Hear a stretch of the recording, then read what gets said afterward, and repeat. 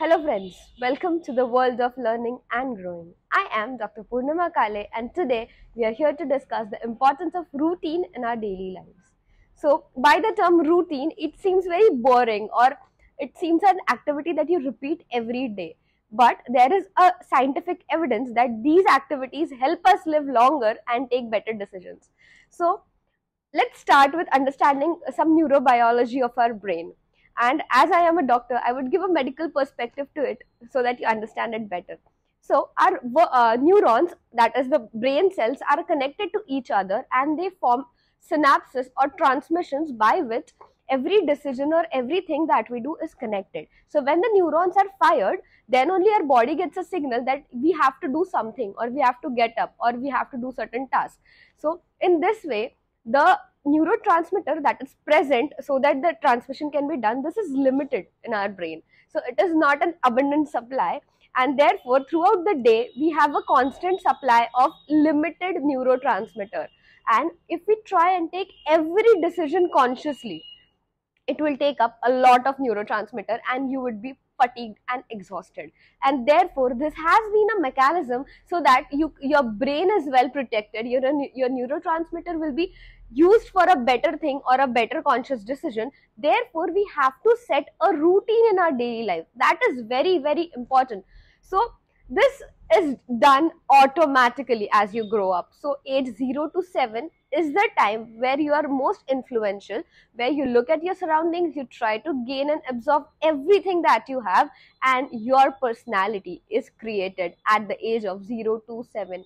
And after that, until you die, it is mostly the repetition of the same patterns. So, yes, whatever you learn up till age of 7, whatever influences you have in your surrounding, shapes your personality, shapes your routines and your patterns. So, it is very interesting to know that whenever we have a routine, every day we all have different routines. So some people get up and have a bed tea, or some people try and uh, just read the newspaper as soon as you get up. Some people get up, brush up, freshen up, and then go for a morning walk. So whatever your routine is, it is mostly linked to what you have seen in that age.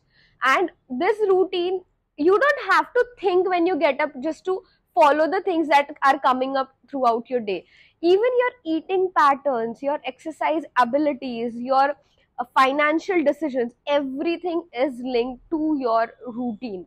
So if you have a habit of not working out or somebody in your uh, vicinity or the place is not working out and you're following the similar pattern, that means that it is not inculcated in your routine and it will be very difficult for you to do that.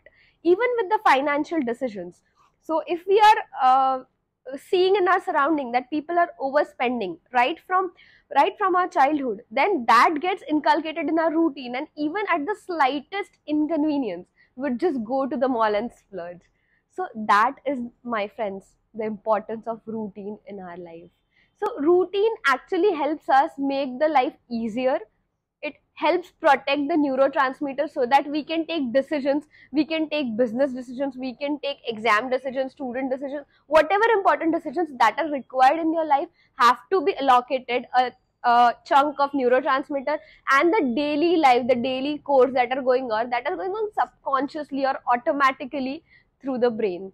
So as we all know some of the most successful people in the world such as Elon Musk, Steve Jobs, Mark Zuckerberg, they all wear a similar kind of dress every single day. So that is their strategy, that is their routine. They don't want to waste their neurotransmitters on deciding what to wear every single day.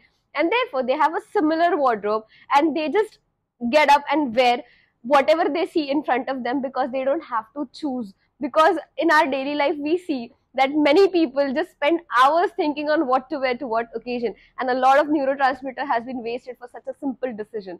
So this is what is the importance of routine. And let me tell you one thing.